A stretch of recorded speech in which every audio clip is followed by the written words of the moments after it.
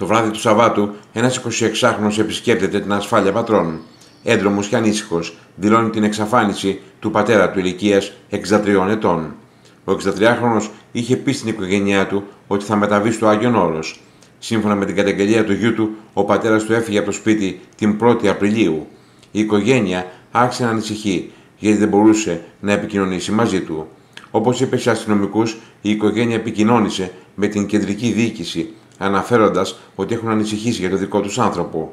Πάντα, σύμφωνα με την καταγγελία του 26χρονου στην αστυνομία από το Άγιον Όρος, έλαβαν την απάντηση ότι δεν έχουν δει φιλοξενούμενο με τέτοιο όνομα.